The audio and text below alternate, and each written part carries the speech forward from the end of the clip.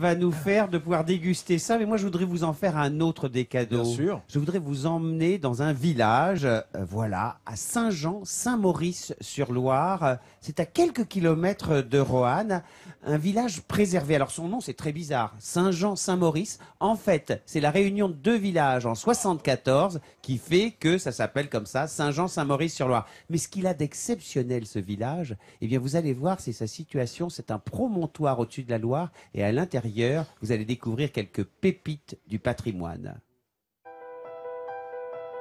Arriver à Saint-Jean-Saint-Maurice-sur-Loire, c'est un peu comme découvrir une merveille inconnue du reste du monde.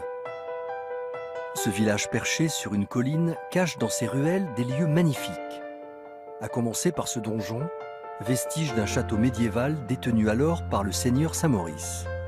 Ce donjon est la partie immergée de l'iceberg puisque euh, effectivement il y avait aussi toute une ceinture, un système défensif, des fortifications au nombre de trois, aujourd'hui visibles sous la forme de portes et qui euh, gardaient bien précieusement euh, cette forteresse. Telle la proue d'un navire, le village s'avance sur la Loire, point stratégique et artère vitale au XIIIe siècle.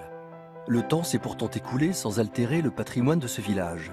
Aujourd'hui encore, on y découvre des trésors.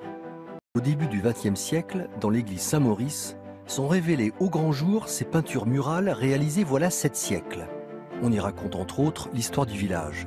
Et plus récemment, lors de travaux, on découvre derrière un crépi cette peinture représentant Saint-Jacques. Remarquez son pied euh, démesurément grand qui euh, indique sa fonction première, celle de marcheur. Cette fresque est importante, elle atteste qu'effectivement, nous sommes bien sur une des voies de pèlerinage, celle qui relie Cluny au Puy-en-Velay. En d'autres termes, cela atteste que le pèlerinage vers Saint-Jacques-de-Compostelle est toujours passé par Saint-Jean-Saint-Maurice-sur-Loire. Les pèlerins ont donc de tout temps eu le plaisir de déambuler dans ces ruelles. Mais combien d'entre eux n'ont pas vu les innombrables détails que seul un œil averti peut voir, à l'image de cette maison à colombage?